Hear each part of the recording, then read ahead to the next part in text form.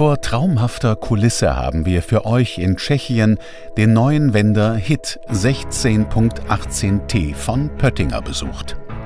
Das neue Topmodell ist wie die kleineren Brüder aufgebaut und wird im Zugmaul oder optional auch in den Unterlenkern gekoppelt. Die wahre Größe wird aber erst deutlich, wenn sich die 16 Kreisel zu einer Arbeitsbreite von über 17 Metern ausbreiten. Das alles funktioniert folgegesteuert mit nur zwei hydraulischen Steuergeräten. Ebenfalls übernommen wurde die Grenzstreueinrichtung, bei der die äußeren zwei rechten Kreisel schräg nach hinten geschwenkt werden. In der Tiefe werden die Zinken vom vorlaufenden Transportfahrwerk geführt.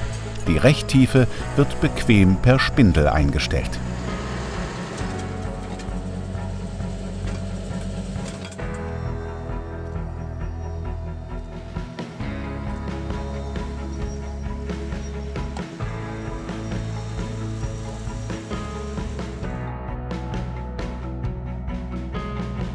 Der Hit 16.18T streut bei 10 km/h mehr als 15 Hektar Gras in der Stunde auseinander.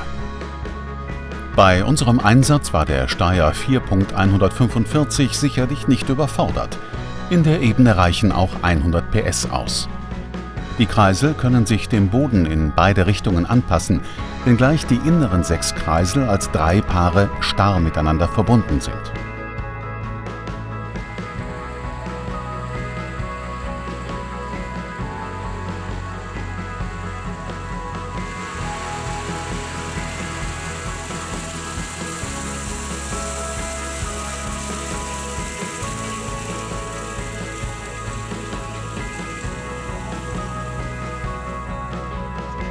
Am Vorgewende kann die Maschine mit einem Steuergerät ausgehoben werden.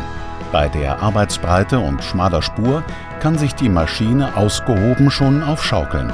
Wenn kein Hindernis vorhanden ist, können die Kreisel aber getrost abgesenkt bleiben, weil das Spur-an-Spur-Fahren bei dieser Arbeitsbreite problemlos möglich ist.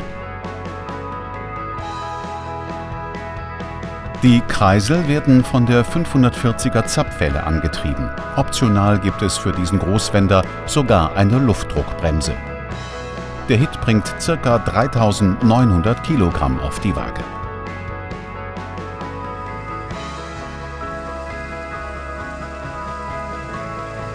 Zum Straßentransport werden die Kreisel zunächst in die Vorgewendeposition gebracht. Dabei entsteht bauartbedingt eine negative Stützlast.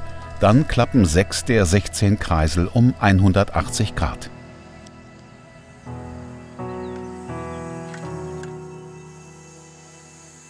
Anschließend werden die Kreisel über das Fahrwerk gezogen und hydraulisch nach vorne eingeklappt.